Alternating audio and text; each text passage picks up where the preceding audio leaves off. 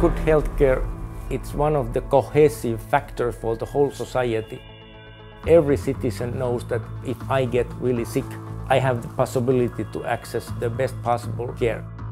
You have to do things in such a way that, that one provider can help many more people.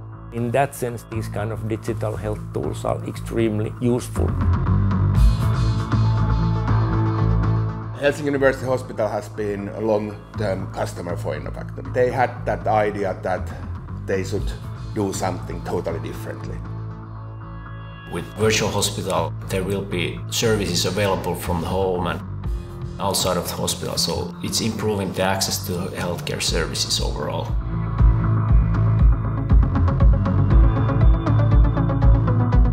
Behind treatment is training the patients, helping them make a choice which kind of treatment is best for them.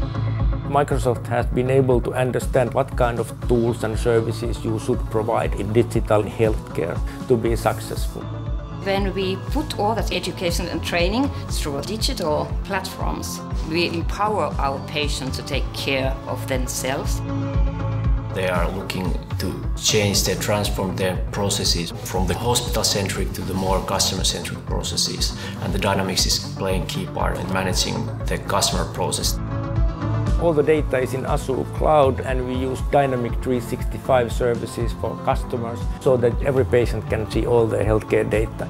It's really breaking down the barriers of the healthcare on both sides. As consumers, our patients are used to all these platforms, so they are ready to do that as patients as well. Compared to traditional way, one doctor can see five times the number of patients in one day that they were able to do before. It's driving results, it's driving better healthcare services, it's driving better outcomes. There are so many new possibilities you can do in medicine, which is a great thing. But to be able to provide those possibilities to everybody, we have to be very effective and we have to take care that everybody has a good access to healthcare.